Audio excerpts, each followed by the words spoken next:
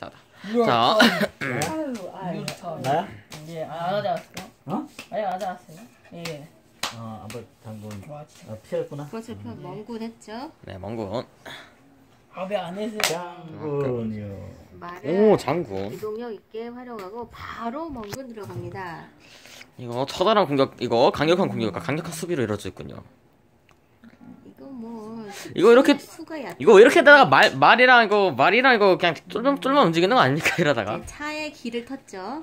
어머. 아, 소원 선수 벌써부터 머리가 꼬이기 시작했어요. 어떻게 하면 자기가 이거 있을까 되게 고민 중입니다. 소원 선수 강력 도발 시도 중입니다.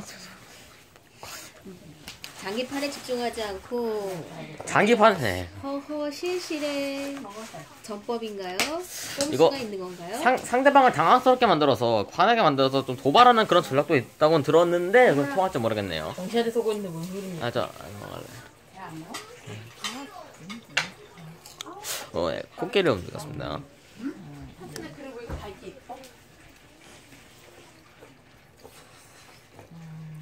주세요.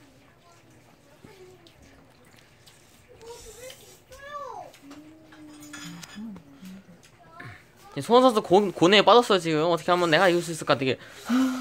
음. 이 상황 어떻게 하면 벗어날 수 있을까요 지금